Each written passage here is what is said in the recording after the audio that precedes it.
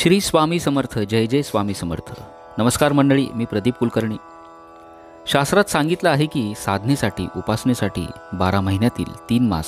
वैशाख माघ आणि कार्तिक अत्यंत पवित्र मानले जातात त्यातला त्यात कार्तिक मास हा सर्वोत्तम मानला जातो या कार्तिक मासात भगवान विष्णूंची सेवा अतिशीघ्र फल देते आपली जर एखादी सुप्त इच्छा पूर्ण व्हावी असं जर आपल्याला वाटत असेल तर आपण या कार्तिक मासात केलं जाणारं अतिशय पवित्र व्रत ज्याला दामोदर व्रत असं म्हणतात हे व्रत अत्यंत सोपं आहे आणि महाफलदायी आहे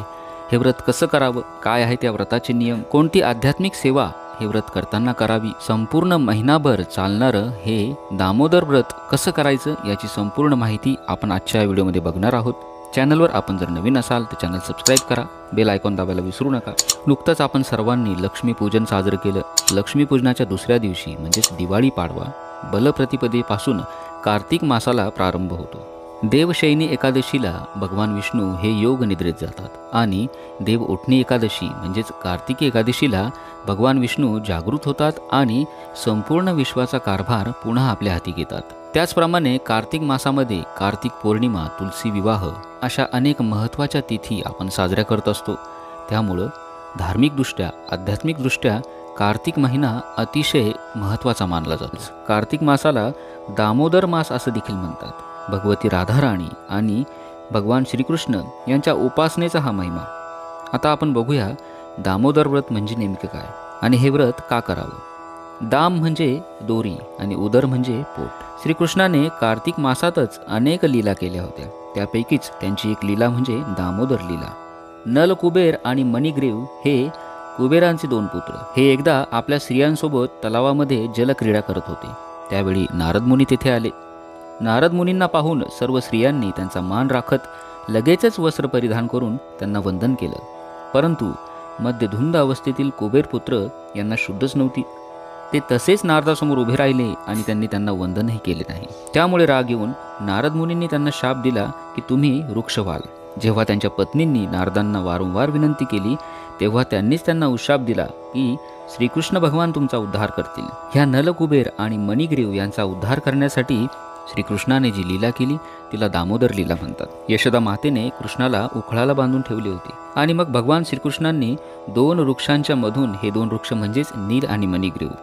या दोन वृक्षांच्या मधून उथळ असे काही नेले की वृक्ष उन्मळून पडले आणि नल आणि मणिग्रीव या कुबेर पुत्रांचा भगवान श्रीकृष्णाने उद्धार केला यालाच दामोदर लीला असं म्हणतात भगवती राधा या श्रीकृष्णाच्या गुरु आहेत म्हणून त्यांची उपासना केली की श्रीकृष्ण कृपा सहज प्राप्त होते आणि म्हणूनच या महिन्यामध्ये भगवान श्रीकृष्ण यांचं दामोदर रूपाची पूजा केली जाते आणि राधा राणीची देखील उपासना केली जाते आता आपण बघूया दामोदर व्रत कसं करायचं हे व्रत अत्यंत सोपं आहे ह्या व्रताची सुरुवात दिवाळी पाडव्याच्या दिवशी करतात परंतु जर आपल्याला उशिरा समजले किंवा महिन्यातील कुठल्याही दिवशी आपण या व्रताची सुरुवात करू शकता ज्या दिवशी आपल्याला व्रत सुरू करायचं त्या दिवशीपासून कार्तिक महिना संपेपर्यंत आपल्याला रोज हे व्रत करायचं आहे पहिल्या दिवशी आपल्या देवघरातील बाळकृष्णाला आपण पुरुष सुक्ताने अभिषेक करावा बाळकृष्ण आपल्या कामनात घ्यावेत थोड्याशा अक्षता घ्याव्यात तुळशीपत्र ठेवावेत त्यांना पाण्याने पंचामृताने पुन्हा शुद्ध पाण्याने स्नान घालावे आणि त्यानंतर पुरुषसूक्त वाचून त्यांना एक वेळा अभिषेक करावा आणि पुन्हा देवघरामध्ये त्यांची मूर्ती स्थापन करावी पहिल्या दिवशी अशा पद्धतीनं अभिषेक केल्यानंतर पुढील ज्या सेवा आहेत त्या आपल्याला रोज करायच्या आहेत रोज आपल्याला दीपदान करायचं आहे सकाळी आणि संध्याकाळी देवाजवळ त्याचप्रमाणे तुळशीजवळ आपल्याला दिवा लावायचा आहे तुळशीची पूजा तर आपण रोजच करतो परंतु या महिन्यात तुलसीचं महात्म्य काही वेगळंच असतं आणि म्हणूनच